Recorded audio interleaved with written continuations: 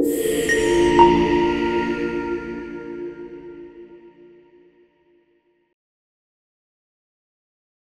everyone welcome to law decrypted आज के इस लेक्चर में हम बहुत ही क्रिस्प और इजी वे में समझेंगे बहुत ही landmark judgment Kesavananda Bharati versus state of Kerala इस लैंडमार्क डिसीज़न में सुप्रीम कोर्ट ने बेसिक स्ट्रक्चर डॉक्ट्राइन को जन्म दिया था। तो हुआ क्या था? 1970s में केरला में एक स्वामी थे हिंदू मोनेस्ट्री के तो केरला गवर्नमेंट दो नए लॉ लाने के बाद ट्राई करती है कि उनसे उनके प्रॉपर्टी के जो मैनेजमेंट के राइट हैं, वो छीन ले। तो इस इशू पे उन्होंने केस फ़ाइल करा था कि राइट टू प्रॉपर्टी उस समय फंडामेंटल राइट था। तो क्या गवर्नमेंट के पास, यानी लेजिस्लेचर के पास पावर है कि वो सिटीजन से उनके फंडामेंटल राइट छीन सकते हैं? तो इस इशू पे डिसाइड करते हुए सुप्रीम कोर्ट ने बेसिक स्ट्रक्चर डॉक्ट्राइन को जन्म दिया। इस केस को थर्टीन जजेस की बेंच डिसाइड कर रही थी। बहुत ही क्लोजली सेवन रेशो सिक्स की मेजोरिटी से सुप्रीम कोर्ट ने हेल्ड करा कि जो पार्लियामेंट है, उसके पास वाइट पावर्स है कि वो लॉज बना सकती है और उनको अमेंड भी कर सकती है। लेकिन उनके पास इतनी पावर नहीं है कि वो डिस्ट्रॉय कर दे बेसिक एलिमेंट्स और fundamental features of the constitution तो यहाँ पर बेसिक स्ट्रक्चर डॉक्ट्राइन का सीधा सा मीनिंग है कि जब कॉन्स्टिट्यूशन बना था तो उसके अंदर ऐसे कुछ प्रिंसिपल्स थे जो उसके अंदर एकदम मूल रूप से अंदर हैं। जैसे कि हम एग्ज़ाम्पल ले लें तो डेमोक्रेसी डेमोक्रेसी हमारे कॉन्स्टिट्यूशन का बेसिक फीचर है जो हमसे कभी नहीं छीना जा सकता और उसके बिना हमारा कॉन्स्टिट्यूशन कॉन्स्टिट्यूशन नहीं रहेगा। ऐसे ही जो बहुत ही मेजर मेजर बेसिक राइट्स हैं, वो बेसिक एलिमेंट्स और फंडामेंटल फीचर्स जो कभी नहीं जीता जा सकता हमसे।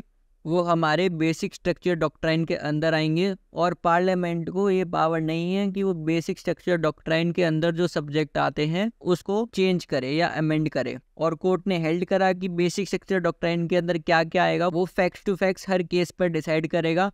सुप्रीम कोर्ट ही बाद में अगर कुछ भी इशू आता है, वो डिसाइड करेगी कि ये जो सब्जेक्ट मैटर है, ये बेसिक स्ट्रक्चर डॉक्ट्राइन में आता है या फिर नहीं आता।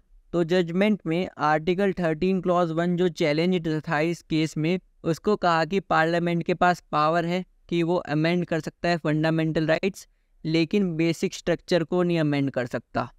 अब हमने ये तो देख लिया बेसिक स्ट्रक्चर डॉक्ट्राइन क्या है और किस रीज़न से आई। तो बेसिकली यहाँ पे एक पॉलिटिक्स चल रही थी। इसके बाद का अब आफ्टर मैथ देखते हैं। तो जैसे ही आया और सुप्रीम कोर्ट ने गवर्नमेंट की पावर्स को कम कर दिया तो इंदिरा गांधी की गवर्नमेंट ने इसको एकदम बिल्कुल अच्छे से नहीं लिया और 1973 में जस्टिस अजित नाथ राय, जो कि सीनियर मोस्ट जज भी नहीं थे उस टाइम सुप्रीम कोर्ट में, लेकिन जो सेवन एशो सिक्स में जो सिक्स जजेस थे ना जिन्होंने दूसरा जजमेंट दिया था, ये उनमें से एक थे। तो इनको बाकी जो तीन सीनियर मोस्ट जजेस थे, उनको सुपरसीड करते हुए इनको चीफ जस्टिस ऑफ़ इंडिया बना दिया, जो कि पहले हिस्ट्री में ऐसा कभी नहीं हुआ है। और फिर बाद में फोर्टी सेकेंड अमेंडमेंट भी लाई गई, जिससे सारे के सारे जो बेसिक स्ट्रक्चर डॉक्ट्राइन से रिस्ट्रिक्शन लगाए हैं सुप्रीम कोर्ट ने पार्लियामेंट की पावर्स पे, उनको एकदम हटा दिया और लॉ में लिख दिया कि पार्लियामेंट के पास पावर है कि वो कुछ भी अमेंड कर सकता है। लेकिन फिर बाद में सुप्रीम कोर्ट ने ऐसे लॉज को भी, जैसे थर्टी नाइन्थ अमेंडमेंट जो थी,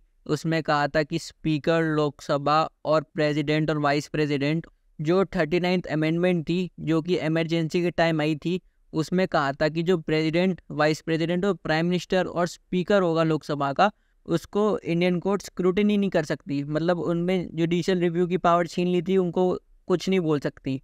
लेकिन इसको इंदिरा नेहरू गांधी वर्सेस नराज नारायण के केस में भी अनकॉन्स्टिट्यूशनल हेल्ड करा था इस अमेंडमेंट को। बेसिक स्ट्रक्चर डॉक्ट्राइन का कॉन्सेप्ट लगाते हुए। तो बेसिकली सुप्रीम कोर्ट ने हेल्ड कर लिया कि जुडिशियल रिव्यू की पावर बेसिक स्ट्रक्चर डॉक्ट्राइन में आती है और इसको नहीं छीना जा सकता। ऐसी ही फिर यही बेसिक स्ट्रक्चर डॉक्ट्राइन को सुप्रीम कोर्ट ऑफ़ बांग्लादेश ने भी 1989 में एग्जैक्टली कॉपी कर लिया और अपनी अनवर हुसैन चौधरी वर्सेस बांग्लादेश वाले केस में इनकॉपरेट कर लिया।